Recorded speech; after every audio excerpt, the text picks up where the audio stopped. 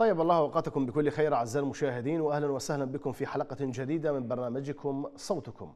صوتكم الذي يصل عبر شاشة الرافدين نستقبل اتصالاتكم ورسائلكم القصيرة على خدمة الواتساب حول آخر التطورات على الساحة العراقية وعلى الأرقام التي سوف تظهر تباعا أسفل الشاشة.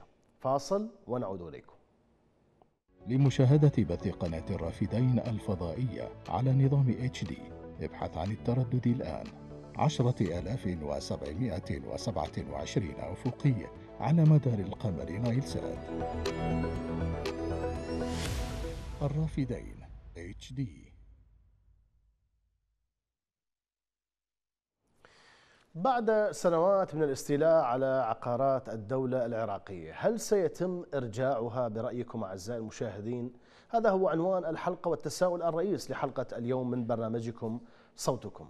طبعا بعد أكثر من تسع سنوات من تشريع مجلس النواب في عام 2013 لقانون بيع وإيجار أموال الدولة رقم 21 لسنة 2013 المعدل اللي أتاح للمتنفذين في الطبقة السياسية والأحزاب الاستيلاء على عقارات الدولة لسنوات عديدة. أصدرت المحكمة الاتحادية في 20 فبراير شباط الماضي من هذا العام عام 2022 حكما يقضي ببطلان المادة 25 من القانون بعدما أصبحت مصدرا للاستحواذ على العقارات المملوكة للدولة بدون وجه حق على حد قول المحكمة. المحكمة قالت في بيان لها بأنها قررت بموجب, بموجب قرارها بالعدد 213 2021 9 2 2022 الحكم بعدم دستورية وإلغاء المادة 25 ثالثا في أصل القانون والتي أصبحت بعد التعديل تحمل الرقم 24 ثالثا من قانون بيع وإيجار أموال الدولة رقم 21 لسنة 2013 المعدل. طبعا تنص هاي المادة على البلدية المختصة بعد موافقة وزير البلديات والأشغال العامة ولأمانة بغداد بيع الأراضي المخصصة للإسكان ببدل حقيقي وحسب الأسعار السائدة لمثيلاتها والمجاورة تقدره لجنة التقدير المنصوص عليها في هذا القانون وبدون مزايدة علنية بدون مزايدة علنية إلى العراقيين الذين لا يملكون هم أو أزواجهم أو أولادهم القاصرين دارا أو شقة أو أرضا سكنية على وجه الاستقلال ولم يكونوا قد حصلوا على وحدة سكنية أو قطعة أرض سكنية من الدولة أو الجمعيات التعاونية للإسكان. وكانت تلك القوى استغلت القانون بالاستمرار باستفادتهم من تلك العقارات وتتيح لدوائر البلدية بيعها وتمليكها لشاغليها بأسعار رمزية ومن دون عرضها مثل ما أشرنا في مزايدة علنية. يعني تكون مقفلة على الطبقة السياسية مقفلة على المتنفذين. ومقفلة على الأحزاب بدون مزايدة علنية أو إشهارها من قبل الدولة للبيع. يعني سن قانون لهدر عقارات الدولة عيني عينك مثل ما هو واضح ويكون بدون مزايدة علنية مثل ما أشرنا وفقط ليعرفون بهم الجماعة. طبعا وفقا للبيان اللي أصدرته المحكمة فأنه بسبب الاستحواذ على العقارات المملوكة للدولة بدون وجه حق كما جاء في البيان عبر استغلال أحكام إحدى مواد قانون بيع وإيجار أموال الدولة وحفاظا على تلك الأموال قررت المحكمة الحكم بإلغاء تلك المادة في أصل القانون واعتبارها غير دستوري. المحكمة أكدت بأنه عليه أصبح النص القانوني الملغى محكوما بعدم دستوريته من القانون المذكور وبأن المحكمة الاتحادية العليا قررت إلغاءه لمخالفته أحكام دستور جمهورية العراق. طبعا على الرغم من تصدر ملف استعادة أملاك الدولة لبرنامج رئيس الوزراء مصطفى الكاظمي اللي كشف عنه أول مرة في آيار مايو من عام 2020 أمام البرلمان إلا أن المسؤولين في العراق في بغداد يؤكدون بأن الملف يواجه صعوبات كبيرة تتمثل بسيطرة أحزاب وفصائل مسلحة وشخصيات سياسية على منازل ومباني مهمة خاصة تلك الواقع داخل المنطقة الخضراء وسط العاصمة بغداد. طبعا بعد الغزو الأمريكي للعراق واحتلال العراق عام 2003 البلاد شهدت فوضى واسعة وكان من بين من بينها هي ظاهرة الاستيلاء على مباني ومنشآت حكومية وأخرى تابعة للدولة العراقية. حاولت السلطات خلال السنوات الخمس الأخيرة استردادها ضمن مساعي كما قالت تعظيم موارد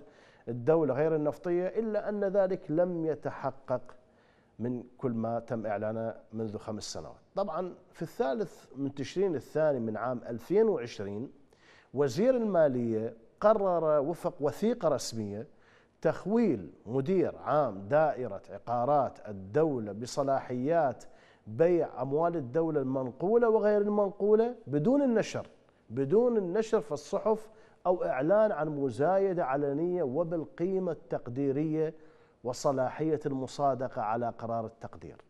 يعني بيع بدون ما حد يدري. بحسب هذه الوثيقة منح وزير المالية الحالي علي عبد الأمير علاوي مدير دائرة عقارات الدولة التي تنظم عمل العقارات التابعة للدولة والمسجلة باسم وزارة المالية من ناحية البيع والإيجار صلاحية التصرف المطلق بما يقارب من 600 ألف عقار آه، آه، آه، حكومي في بغداد والمحافظات الأخرى. عبارة عن أبنية وأراضي حكومية ذات قيمة مالية كبيرة. هيئة النزاهة في كانون الأول من عام 2021 قدرت عدد العقارات التي تحت سلطة شخصيات وأحزاب مختلفة بشكل غير قانوني في بغداد والمحافظات عدا إقليم كردستان العراق ب 31378 عقار.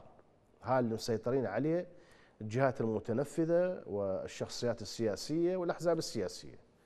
جاءت محافظة نينوى في صدارة القائمة آه، آه، بلغ إذ بلغ فيها عدد العقارات المتجاوز عليها 8585 آه، البصرة 6194 وكركوك 3653 لكن العقارات الأهم التي ما زالت تحت سيطرة أحزاب وشخصيات نافذة وزعماء ميليشيات هي تلك التي تقع داخل المنطقة الخضراء وسط العاصمة بغداد في مناطق الحارثية والجادرية في المنصور في الكرادة وهي أهم مناطق العاصمة بغداد.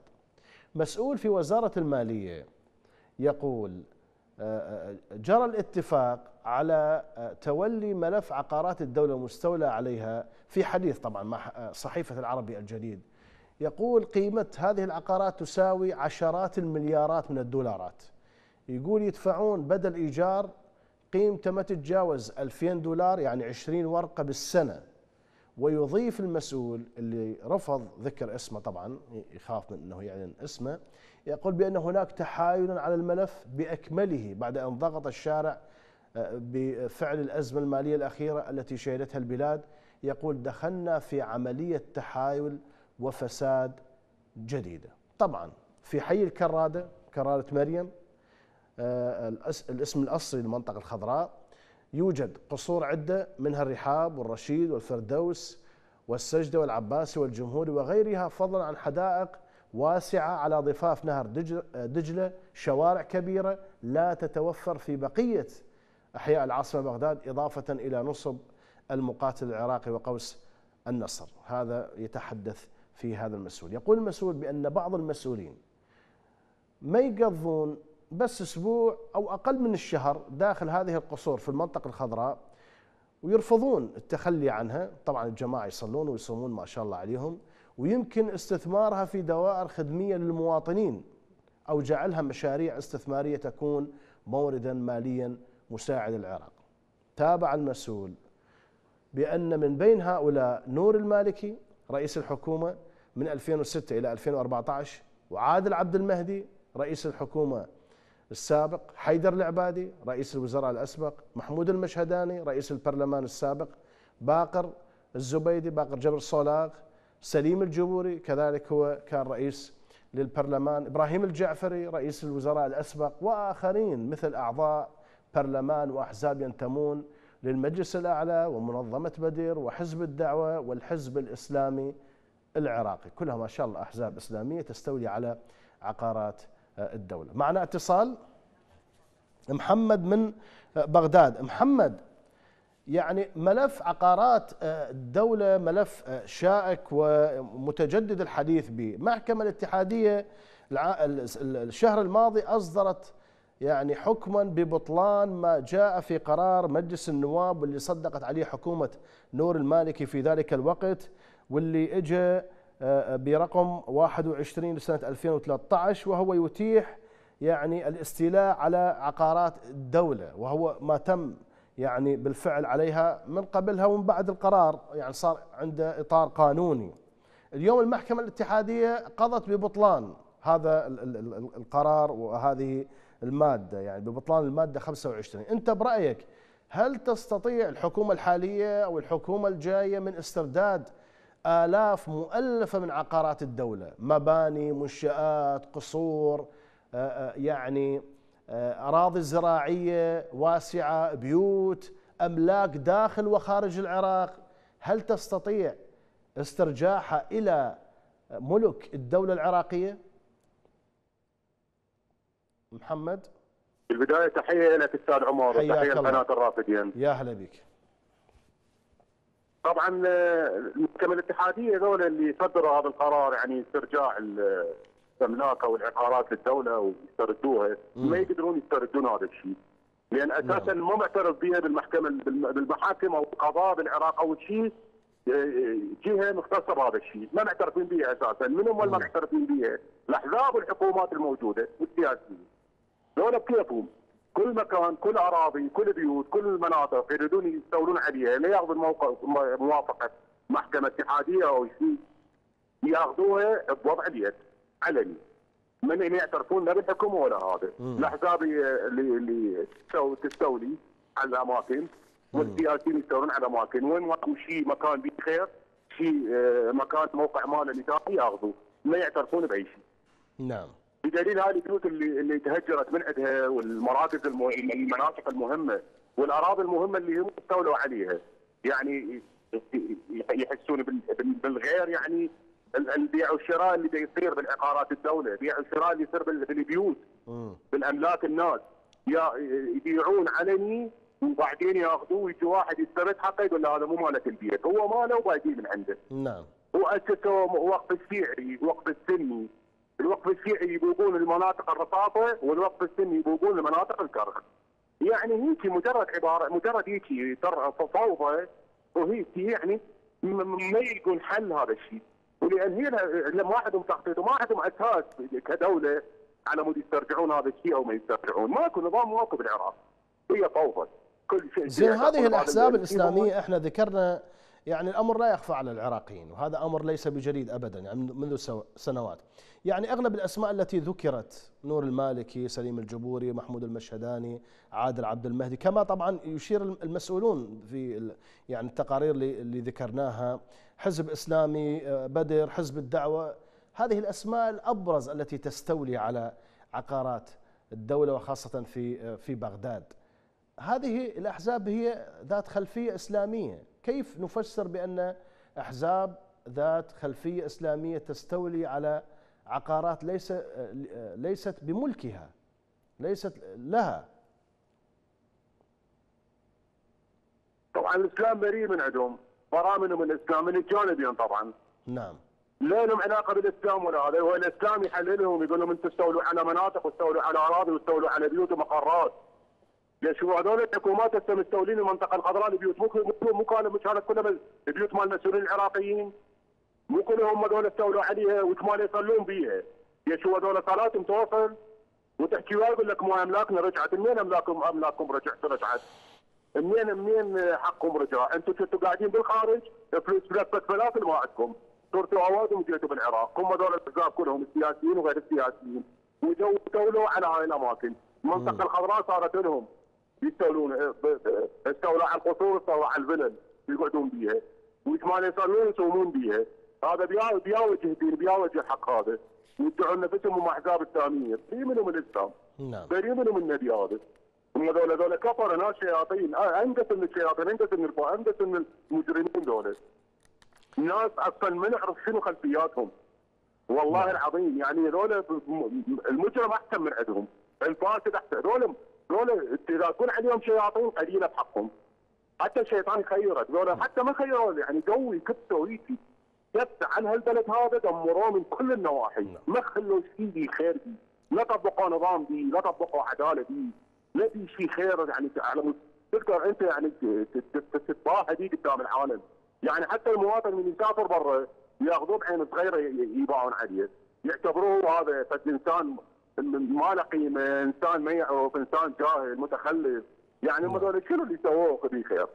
والله العظيم يعني ما تعرف نعم يعني محمد. الجاية على محمد من بغداد كان آه، آه، معنا. طبعا يعني آه، في عام 2019 آه، آه، تحدث محمد التميمي وهو كان سكرتير لجنة متابعة عقارات الدولة في البرلمان. وهاي اللجنة تم تشكيلها في نفس العام أي في عام 2019 لمعالجة هذا المل- الملف. تحدث في وقتها مع صحيفة العرب الجديد وقال بأن شخصيات سياسية استحوذت على مقاطعات كاملة في بغداد. منهم رئيس الوزراء الأسبق نور المالكي يقول استحوذ على مقاطعة السندباد وهي بمساحة أربع دونمات يعني عشرة آلاف متر مربع داخل المنطقة الخضراء. يضيف بأن عمار الحكيم استحوذ على عشرة دونمات آه، 25 ألف متر مربع. منطقة الجادرية في بغداد كذلك. يقول كذلك دور سكنية تابعة لوزراء النظام السابق وأضاف التميمي بأن إياد علاوي تولى رئاسة الحكومة المؤقتة من 28 آه، حزيران 2004 إلى 6 ني- آه، نيسان 2005 يقول استحوذ أيضا على دور ضباط النظام السابق في شارع الزيتون وسليم الجبوري وهو مثل ما ذكرنا كان يعني يشغل رئاسة البرلمان. سابقا استحوذ على منزلين داخل المنطقة الخضراء وهناك أسماء أخرى ذكرنا منها إحنا قبل شوية يعني بالعموم. تابع بأن جميع هذا هذا عضو في لجنة متابعة ملف عقارات الدولة. يقول جميع السياسيين سكنوا في دور فارهة منهم من يدفع إيجارات رمزية جدا ومنهم من لا يدفع. أضاف بأن اللجان اللي آه، شكلها عادل عبد المهدي رئيس الوزراء المستقيل رئيس الوزراء السابق أو اللجان اللي سبقتها يقول كلها كانت لجان شكلية. يقول ما قدمت أي شيء ولم يجرؤ أي موظف في هذه اللجان على إرسال تبليغ أو كتاب للمطالبة بإخلاء الدار أو دفع إيجار مجزي لأنها ضمن تفاهمات سياسية وليست لجانا فعلية أو خلي خطين تحت تفاهمات سياسية وليست لجانا فعلية تابع جرت تلاعبات في ملكية الكثير من العقارات من خلال شرائها بمبالغ آه زهيدة وتحويل ملكيتها لشاغليها. معنا اتصال؟ أبو أيسر من تركيا. أبو أيسر يعني بعد سنوات من الاستيلاء على عقارات الدولة آلاف مؤلفة عشرات الألوف من عقارات الدولة بعشرات المليارات من الدولارات تقدر قيمتها. برأيك بعد كل هذه السنوات هل يمكن إرجاع هذه العقارات إلى إلى إلى الدولة العراقية؟ ألو؟ نعم أبو أيسر تفضل. أبو أيسر تسمعني؟ أبو أيسر؟ أبو أيسر. يبدو أن هناك مشكلة في الاتصال مع أبو أيسر من آه، تركيا. نكمل حديثنا حول هذا الموضوع. طبعا عضو اللجنة المالية السابق وعضو البرلمان الحالي جمال كوجر آه، يعني قال بأن ملف العقارات هو من أبرز ملفات الفساد في آه، البلاد وأضاف بأن دائرة عقارات الدولة التابعة لوزارة المالية ليس لديها قاعدة بيانات متكاملة عن تلك العقارات وهذه هم يعني طامة كبرى. يقول ما عندها قاعدة بيانات متكاملة عن تلك العقارات أي وزارة المالية اللي تم الاستحواذ عليها من قبل الأحزاب والجماعات المسلحة بثمن بخس وتم نقل ملكيتها بصفقات سياسية من ممتلكات عامة إلى ممتلكات شخصية.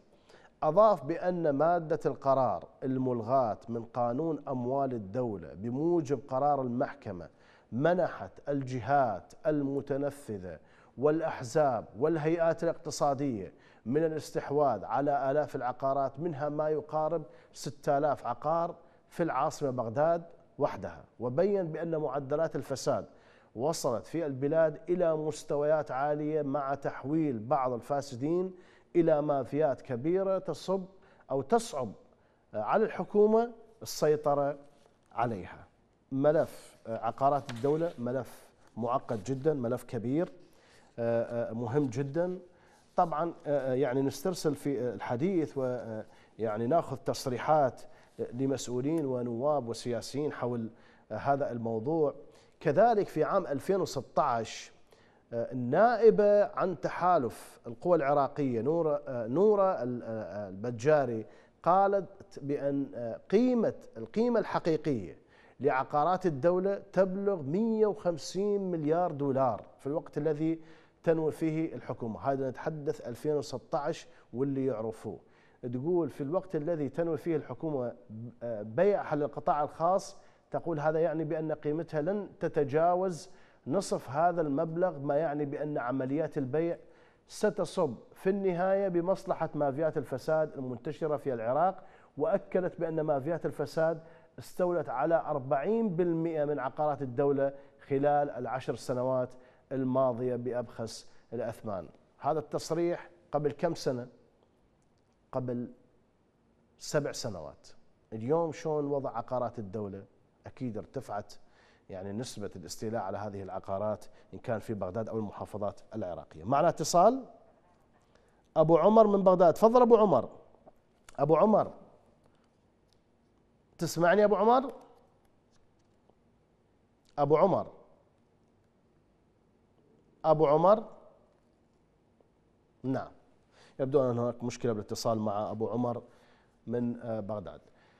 عضو البرلمان السابق آه، عن تيار الحكمة محمد اللكاش يقول لصحيفة العربي الجديد بأن رئيس الحكومة السابق عادل عبد المهدي سعى إلى إخراج بعض السياسيين ممن ليست لديهم مناصب حكومية إلا أن محاولته باءت بالفشل واصطدمت بتأثيرات وضغوط سياسية. وعضو لجنة النزاع في مجلس محافظة بغداد الأسبق محمد الساعدي قال بأن هناك ما لا يقل عن ثلاثة آلاف مبنى ثلاثة آلاف مبنى في بغداد وحدها مستولى عليها بطرق ملتوية وغير آه، آه، صحيحة. خلونا آه، أعزائي المشاهدين ناخذ فاصل ونرجع نكمل معاكم حلقة اليوم اللي هي بعنوان هل يمكن إرجاع عقارات الدولة المستولى عليها فاصل ونعود إليكم.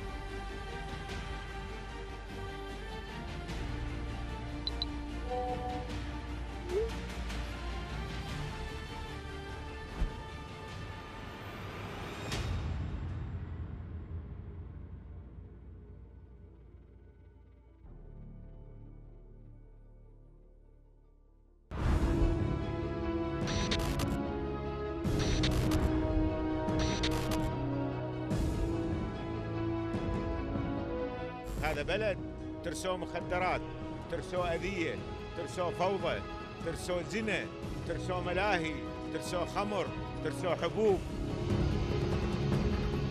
بلدنا منتهك من كل الجهات ومع الأسف. الآن حالة بالبلد هي أكثر من الإرهاب هو انقطاع الماء. بطل من أبطال البصره وليدي أنت طالبت بحقوق البصره طالبت على مود مي مالح. قانوننا قانون هذا من فلان جهة لا تحاكي مدلل. والقانون يطبق على الفقير. مليارات يبوقون ما حد يحاكيهم. والفقير يبوق له قنينين حكم 20 سنة.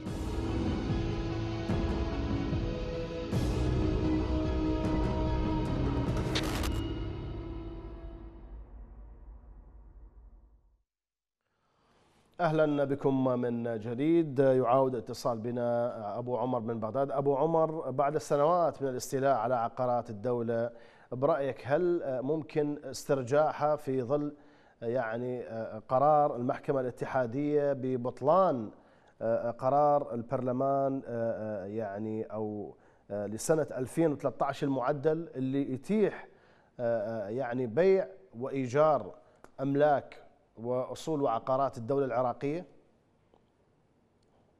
حياك الله أستاذ عمر وحيا وسهلا. الرافدين ومشاهديها حياك الله.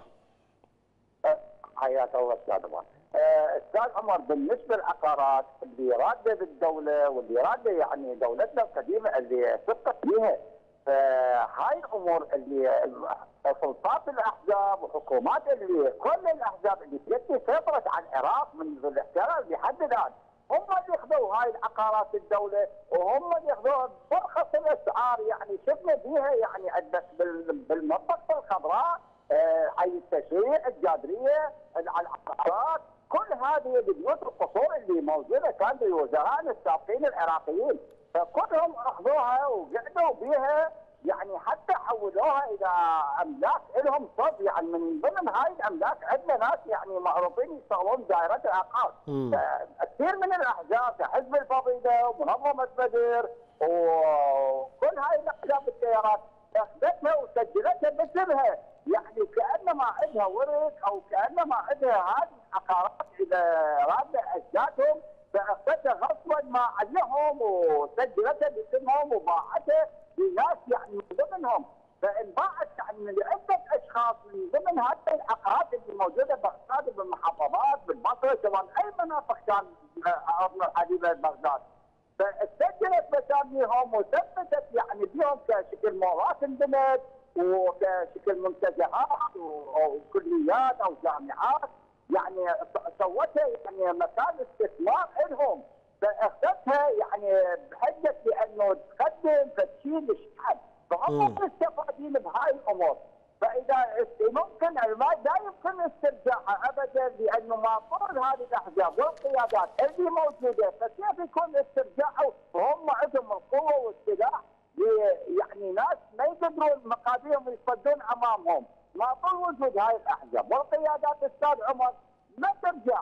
أي قاضي وأي قضاة عندنا بالجهات العليا لا يمكن التفاهم معهم ولا يمكن التفاوض وياهم أمام هاي سلطه الأحزاب قياداتهم سواء كان حزب الفضيلة أو منظمة بدر أو حزب الإسلامي.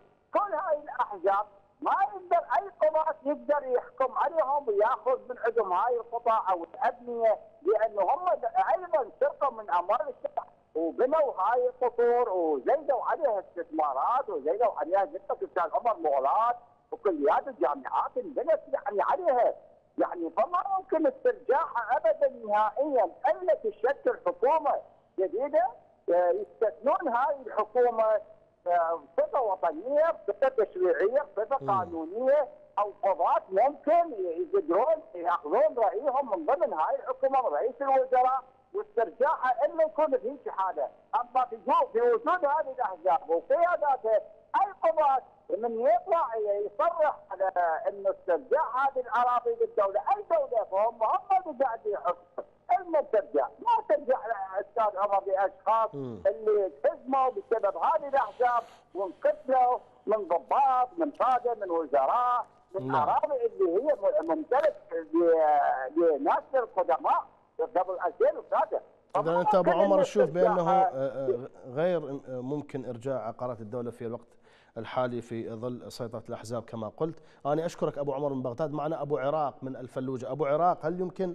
يعني إرجاع عقارات الدولة العراقية المستولى عليها من قبل متنفذين من قبل بعض آه، آه، شخصيات وزعامات الطبقة السياسية الحالية من قبل أحزاب؟ أبو السلام عراق اسمع. عليكم وعليكم السلام أستاذ. ورحمة الله. أهلا وسهلا بك. لو سمحت إيش وقت ما يرجع العراق لها ترجع العقارات هو العراق نفسه باعه يا أستاذ عمر العراق مم. ما, ما تأسف بس على عمر. يعني تأسف على العراق اللي باعوه. باعوه ذول اللي فتح الله اللي.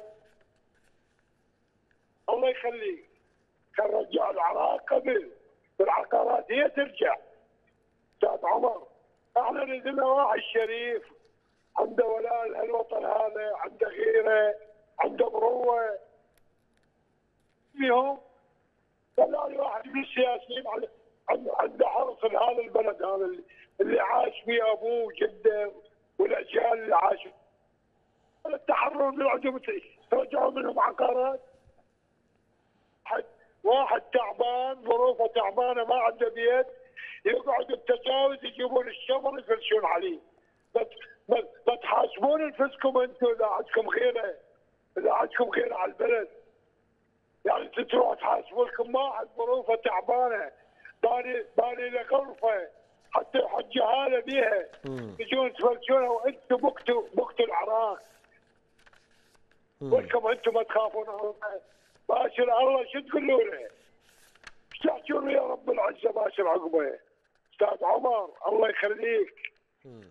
خلي يسمعني الشعب العراقي يا شعب يا شعب. نعم. سلام يا شعب.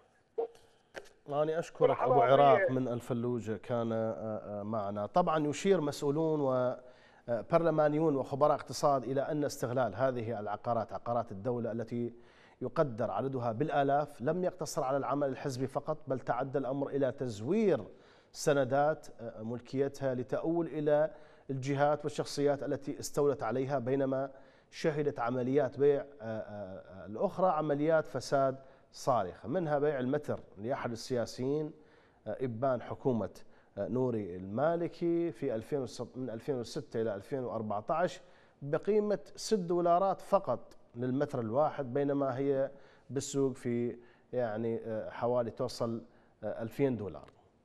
مصادر في هيئة النزاهة وصفت في تصريحات سابقة بأن ملف العقارات ملف معقد لارتفاع حجم الفساد فيه وأشارت إلى أنه لا يقل أهمية عن ملفات الفساد في قطاع النفط وشركات الاتصالات وعقول التسليح كون الخط الأول من القيادات السياسية في البلاد متورطة فيه منذ العام 2003 حيث منحوا لأنفسهم حق الاستيلاء أو الإشغال من دون دفع أي مقابل آه، مالي. معنا اتصال أبو سجاد من بغداد. أبو سجاد بعد سنوات من الاستيلاء على عقارات الدولة برأيك هل ممكن إرجاع هذه العقارات؟ الخير عليكم وعلى إذاعتكم يا أهلا العراقية. حياك الله يا أهلا بك آه، العراقية من البداية رفضت الاحتلال وعرفت بنوايا الداخل يعني. إحنا شفنا أنا من أهالي مدينة الصدر كرد فويلي اللي أحكي. حياك الله. إحنا اليوم وقعنا نفسنا ببير وهذا البير إحنا إحنا حفرناه نفسنا بهذا بهذا البير يعني من وسلمتنا للدول سلمتنا طرف من. والطرف الآخر للخليج والعراق صار ساحة مخابراتي زين إحنا اليوم إحنا ارزاقنا محدودة بالعراق. نعم. العراق راح. وقادر ربي بعد إذا يرجع البلد مثل قبل. إحنا اليوم معيشتنا صارت مرة يا أستاذنا الغالي. نعم. إحنا اليوم تبدا تباوع الأسعار صارت نار والدولار مغلينا على الفقراء وماكو حتى الإعلام متغاضى على هاي القضية. يعني من اليوم إحنا أنا اللي أحكي اختلت بالشارع امم يعني بالقوة قاعد نجيب الرزق نجيب أرزاقنا نجيب الراس بدنا رعيتنا عاد ما تتم صدقني لا يجون أستاذنا العزيز لا يجون شيعة العراق وكل العراق. إذا يريدون تغيير فالدول المجاورة ما تقبل وإذا الدول المجاورة تقبل فأمريكا وأوروبا ما تقبل. ليش؟ لأن يريدون العراق ذليل ضعيف. أنت اليوم إيران تدعي نفسها الخامنائي يدعي نفسه ولي الفقيه يدعي نفسه المسلمين وقاطعين المي على العراق. زين إحنا ليش وقت نبقى ذليلين لهاي الدول؟ إحنا ما عندنا سياسيين. أستاذنا العزيز بس كلمتي أنا أريد أقول لك إياها. تفضل. خليها ببالك. الشعوب العالم دا تطلع من الزبالة طاقة. إحنا من الزبالة نطلع سياسيين وخليناهم وسلمناهم الدولة العراقية. وقاموا يتلاعبون بأرزاقنا ودمروا البلد وسووا لنا خلقوا لنا القاعدة وخلقوا لنا داعش وخلقوا لنا الميليشيات وراح يخلقوا لنا طبعا هاي كلها است- كلها من ال- من مخططاتهم. اليوم العراقي من الصبح لليل يفتر انت اليوم احسب بعد خمس سنوات. تلقى العراقيين 90 95% من عندهم أمراض سرطانية. العراقيين أنا أقول لك 95% من العراقيين أمراض سرطان. ليش؟ مواد كلها آه، مسرطنه كلها مواد حتى الفواكه كلها مواد كيميائية. صناعه أنا اليوم محمد الحلبوسي ما يمثل السنة ولا مقتدى الصدر يمثل الشيعة ولا مسعود البرزاني يمثل الأكراد. اليوم العراقيين الشرفاء ما راحوا للانتخابات ولا أدلوا بصوتهم. إحنا اليوم بصوره عامة كعراقيين الاكراد تركمان مسيح إحنا كنا مغبونين. نعم. أنا ابن البصرة مغبون وابن ابن الموصل مغبون وابن أربيل مغبون وابن الشرفاء مو الأحزاب الفاسدة. نعم. إحنا م... إحنا ما قاعد نفتهم شرير. والله العلي العظيم حتى لا لا تصير انتخابات مرة ثانية يرجعون الشعب العراقي ينتخبون. هاي الزمرة نفسها والأنقص بعد. إحنا مش المشكلة بينا يا أستاذ ما أنا قلت لك هاي هذا البير إحنا حفرناه وهذا البير إحنا وقعنا نفسنا إي بس أكو نقطة أكو نقطة أبو سجاد أنت شيء واحد. يعني نعم. اللي راحوا للانتخابات ما يتجاوزون 15 وأنت في بداية حديثك قلت قلت يعني يعني أغلب الشعب العراقي ما راح للانتخابات. نعم هسه نعم. أنا المتكلم وياك أنا رحت للانتخابات. مم، بهاي الأخيرة رحت انتخبت شخص أي نعم رحت صوبت الشخص مت... يعني- وقبلها ضحكوا علينا يعني أنت من ضحكوا علينا يا أستاذي يعني أنت من ضمن ال ضحكوا علينا؟ 15% أبو سجاد أنت من ضمن ال 15% يعني عندك علينا 85% ما راحوا للانتخابات نعم أنا أنا اللي احكي وياك أنا نعم. رحت. هاي ال 15% اللي تزورت بس السابق تدري شلون ضحكوا علينا؟ نعم. إحنا ما كنا نتهم احكي لك اياها للأمانة. قالوا راح. راح يرجعون البعثيين ويأخذوها وراح يرجعون يذبحونكم. وهالكلاوات الكلاوات ال... ال... ال... طبعا شوف أستاذنا العزيز لولا لو لولا لولا دواعش الخضراء كان ما طلعت لنا دواعش بالصحراء. أنا أنا دائما أقولها. نعم. ذول لما دمروا العراق والعراق بعد ما راح والعراق لأن الفقير تدمر. الفقير اللي بالعراق أنت اليوم العراق بيش ينبني؟ بالفقراء ترى ينبني الغني عنده فلوس بس الفقير هو اللي يبني الفقير اليوم العراقيين 80 90% عندهم أمراض بسبب هاي الأوضاع والعراق قادر ربي إذا بعد يصفى لأن تدري شنو يا أستاذنا؟ نعم. لا محمد الحلبوسي ولا مسعود البرزاني ولا الصدريين ولا البدريين ولا كل الكردية والكردية قلبهم على العراق، لو لما باعوا العراق، اليوم الكردية الايزيديه اللي كانت قاعدة بالسنجار انباعت سوريا وغير سوريا بسبب دول السياسيين اللي نعم. مؤامره على العراق، العراق الع- أنا أنا دائما أقول أقول بس هو اللي اللي وما يغير الله بقوم حتى ما يغيروا ما حتى يغيروا ما. بأنفسهم. نعم. نعم. أنا أشكرك أبو سجاد من بغداد كان آه، معنا.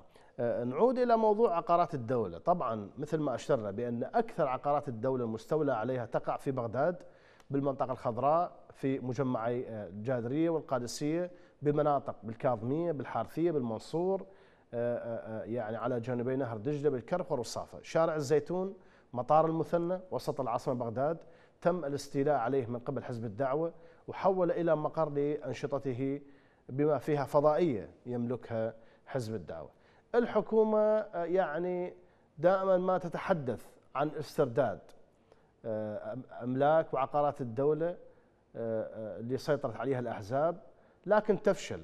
يعني كثير من الوعود اللي تم إطلاقها ويعني أطلقها رئيس الحكومة مصطفى الكاظمي مثل ما أشرنا في بداية الحلقة في مايو 2020 ويعني قال بأنه يجب إعادة عقارات الدولة وأملاك الدولة. لم تتضمن أي إشارة إلى وجود إجراءات حكومية واضحة من شأنها ضمان استعادة ممتلكات وعقارات الدولة اللي سيطرت عليها الأحزاب وفصائل مسلحة خلال الفترة التي تلت الاحتلال الأمريكي للعراق عام 2003 ممتلكات عقارات الدولة تم الاستيلاء عليها بشكل غير قانوني وغير نظامي. مثل ما أشرنا بعضها تم بيعها بسعر رمزي آه، بحسب عضو البرلمان السابق صادق المحنة اللي قال وأكد بأن عقارات الدولة تباع وتشترى من دون وجود ضوابط لصالح جهات متنفذة.